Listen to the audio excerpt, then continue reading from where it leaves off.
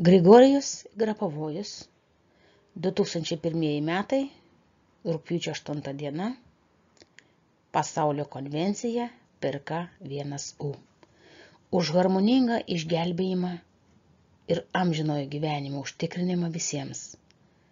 897 94 89 skaičių eilutės užtikrinančios amžinąjį gyvenimą visiems kad visiems užtikrinti dinamišką valdymo realybę amžino gyvenimo, pastatome skaičius seka 4, 9, 8, 1.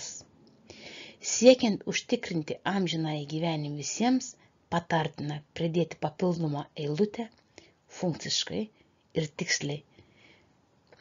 Suteikia jai kontrolę, nes dviejų eilučių sąveika jau suteikia kitą valdymo lygmenį toj pačioj krypty.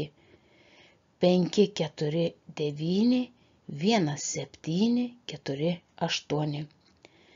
Sekanti eilė, norint suteikti amžinai gyvenimą visiems, 4, 2, 8, 7, 4, 1, 8, 8, 8.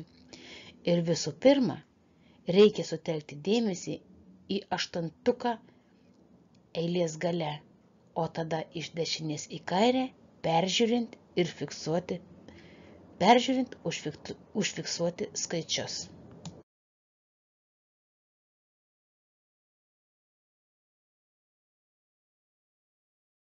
Kad harmoningą išsigelbėjimą pajaustų kiekvienas, siūlau kiekvienam perėsti per savo sąmonę šių skaičių seką ir normuoti visus pasaulyje sukeltus destruktyvius įvykius su šių skaičių konstrukcija. Dabar prieš save pastačiau aparatą per K1C, U, kuris, kurį autorius laiko rankose, ir skaičių seka, normuoti pasaulyje destruktyvius įvykius 4, 2, 8, 7, 4, 1, 8, 8. O dabar skaičius pavartosime, sudėsime taip, kaip autorius suteikia tam tikrą metodologiją.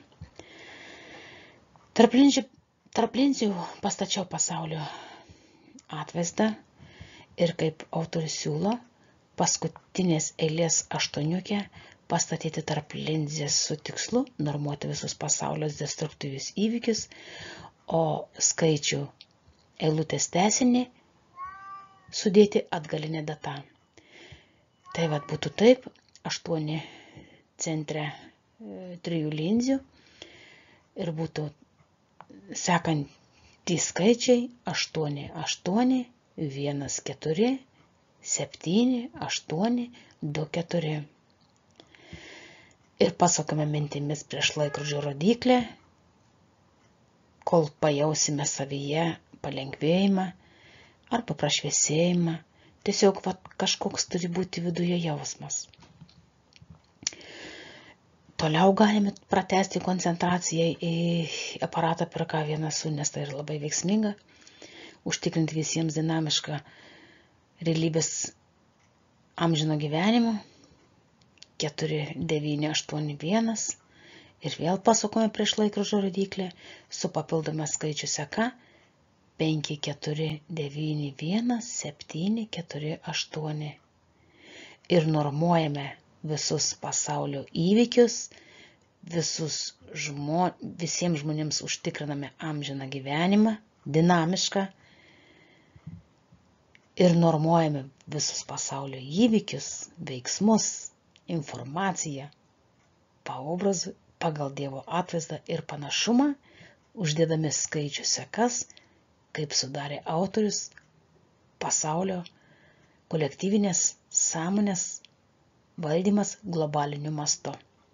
Video sukūrė ir įgarsino Sigutė pagal Grigorį Grabovoj ideologiją.